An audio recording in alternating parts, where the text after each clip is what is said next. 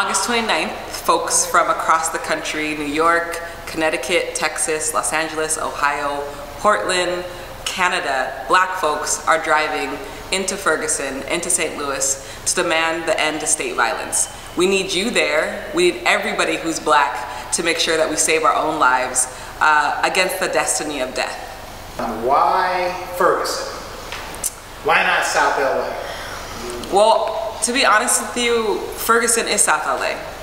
Ferguson is Florida. Ferguson is every city that's plagued with anti-black racism.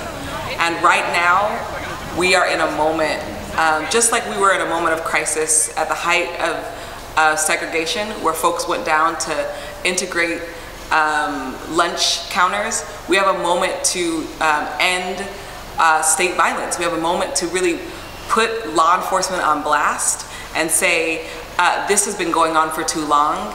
And Ferguson is just the example of what's happening across the country.